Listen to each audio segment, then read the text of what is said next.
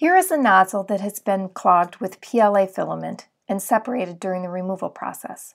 To clear the clog, reassemble the nozzle, screw it back on, snap in the service door, and plug it in.